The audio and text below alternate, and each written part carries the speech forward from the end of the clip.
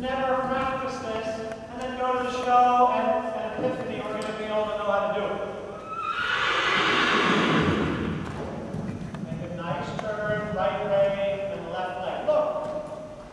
Right rein, left leg. Even still, you gave in a little bit. Smooth, trot a step up there. Now look. Look where you want to go.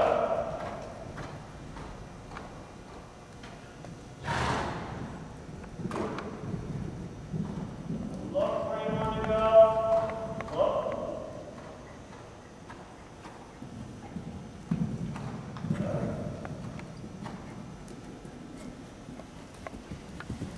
Stay tall. All right.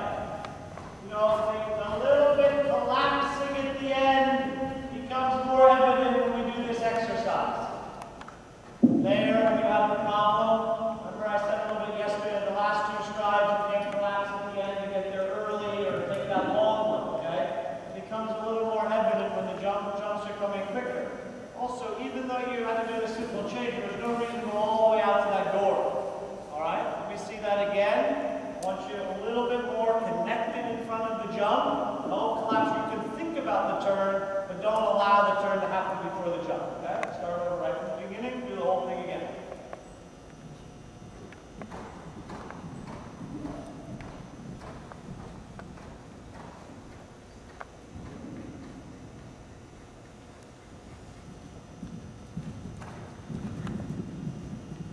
Right rein, left leg. Right rein, left leg. Good. Try to stay tall that last stride, Emily. Let the horse come up to you. Don't you go down to meet the horse.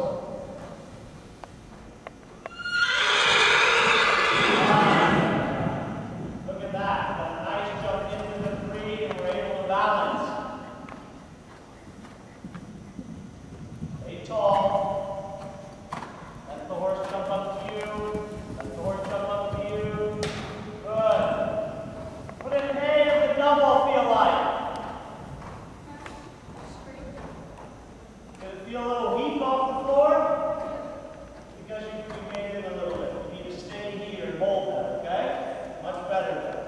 Good. Rest is you know, you gotta practice these things though. You know, you gotta practice these kind of turns. Practice thinking like at this speed, okay? You don't have to run the horse to do it. Get the feeling the horse is jumping up through you.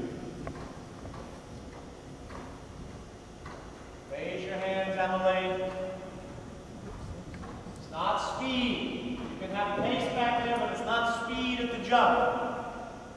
It's control. Stay tall. Put your leg into your hand. Good. Excellent position. Excellent position. You're an example of a lot of people in your position there. Excellent. Good. If you can only do the other, your riding becomes one-dimensional. It might work with a certain type of horse or a certain height jumps.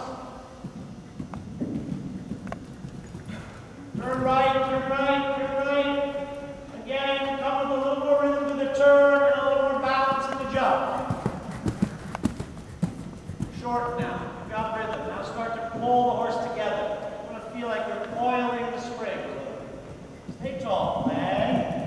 Good girl. That's much better, huh? Your first one was a little long and loose, huh? Wait a second. Wait a second. The first one was a little